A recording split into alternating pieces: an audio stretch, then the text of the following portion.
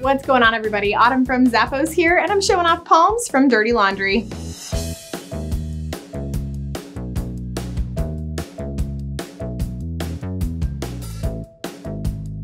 These platform sandals have a really cool synthetic snake print upper. It has a little bit of shine to it as well. You do have a single strap over the vamp and an adjustable buckle at the ankle. Inside is nice and smooth and you've got a soft footbed that's contoured as well.